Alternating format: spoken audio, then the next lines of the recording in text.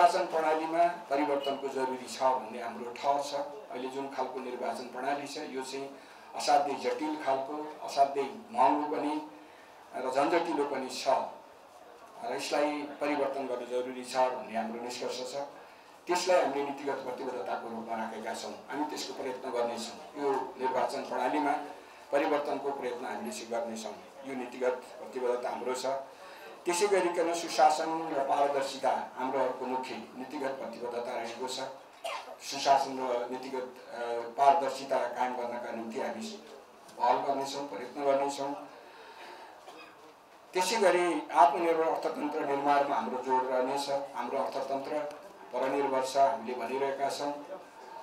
यो आयातमुखी छ यसलाई निर्यातमुखी बनाउनु जरुरी छ। त्यसका निम्ति हामीले काम गर्नुपर्छ भन्ने हाम्रो नीतिगत अडान अर्को रहनेछ।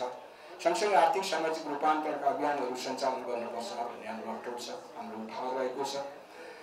जुन प्रकारले राजनीतिक परिवर्तन भयो तदनुरूप आर्थिक सामाजिक क्षेत्रमा परिवर्तन नहुँदाखेरि धेरैले व्यवस्था परिवर्तन भयो अवस्था परिवर्तन भएन अथवा व्यवस्था बदलियो अवस्था बदलिएन भन्ने गरेको हामी पाउँछौँ। त्यो खालको टिप्पणी छ आलोचना पनि छ।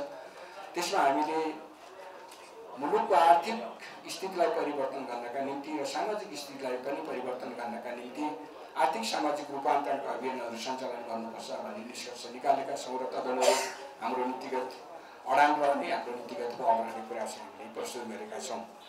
त्यस्तै राष्ट्रिय हित र स्वाभिमानको सम्वर्धनका निम्ति हामीले प्रयत्न गर्नेछौँ। हाम्रो योगदान त्यसमा रहनेछ हाम्रो बल त्यसमा रहनेछ।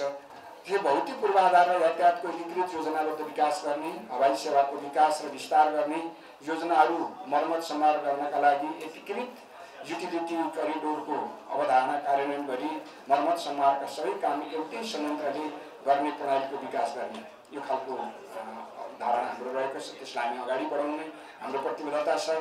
ऊर्जाको उत्पादनमा वृद्धि र व्यापार व्यवस्थापन गर्नुपर्ने। ऊर्जा उत्पादन वृद्धि मात्रै नै यसको बजार व्यवस्थापन पनि गरेर व्यापारमा पनि वृद्धि गर्नुपर्छ।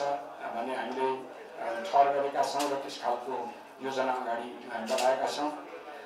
साथसाथै ऊर्जा प्रवाह नियमित गर्न जलाशययुक्त बहुउद्देश्य जलविद्युत सिँचाइ खानेपानी बाढी नियन्त्रण पर्यटन प्रबन्धन लगायतका क्षेत्रमा काम गर्ने गरी ती सबै क्षेत्रलाई समेट्ने गरी आयोजनाहरूको निर्माण गर्ने र ती आयोजनाहरू कार्यान्वयनका निम्ति अगाडि बढ बढ्ने त्यो खालको हाम्रो रहेको छ त्यसलाई हामीले प्रस्तुत गरेका छौँ। शिक्षा र स्वास्थ्यको क्षेत्रमा राज्यले लगानी वृद्धि गर्नुपर्छ। शिक्षा र स्वास्थ्यलाई संविधानले मौलिक अधिकारको रूपमा नागरिकलाई प्रदान गरेको छ संविधानले। तदनुरूप शिक्षा र स्वास्थ्यको क्षेत्रमा राज्यको लगानी वृद्धि गर्ने र गुणस्तरीय शिक्षा प्रदान गर्ने र गुणस्तरीय सेवा स्वास्थ्य सेवा पनि प्रदान गर्ने व्यवस्था राज्यको तर्फबाट हुनुपर्छ भनेर तदनुरूपका केही कार्यक्रमिक दृष्टिकोणहरू केही कार्यक्रमिक अवधारणाहरू हामीले प्रस्तुत गरेका छौँ त्यस गरिकन मानव संसाधनको संसाधनको विकास र विज्ञान प्रविधिको क्षेत्रमा विज्ञान प्रविधिको सबै क्षेत्रमा व्यापक प्रयोग गर्ने र हाम्रो आफ्नै आफ्नै यहाँका जडीबुटी जन्य उत्पादनहरूबाट रोग निदानका निम्ति कसरी काम गर्न सकिन्छ भन्ने सन्दर्भमा आविष्कारका कामहरू पनि गर्नुपर्दछ भन्ने समेतको अवधारणा हामीले चाहिँ प्रस्तुत गरेका छौँ। त्यसै गरी प्राकृतिक सम्पदा वातावरण र पानीका स्रोतहरूको संरक्षणको खाँचो छ। त्यसका निम्ति काम गर्नुपर्छ राज्यले यो दृष्टिकोण ल्याएका छौँ जोखिम व्यवस्थापन सहितको विकास हुनुपर्दछ। अहिलेका विकास योजनाहरू धेरै जोखिम निम्ताउने खालका छन्। त्यसको अन्त्य गर्नका निम्ति अहिलेका हाम्रा योजनाहरूले गर्दाखेरि आउने बाढी पहिरो लगायतका जोखिमहरूलाई निदान गर्नका निम्ति निराकरण गर्नका निम्ति जोखिम जोखिम व्यवस्थापन सहितका विकासका योजनाहरू निर्माण गर्नुपर्दछ।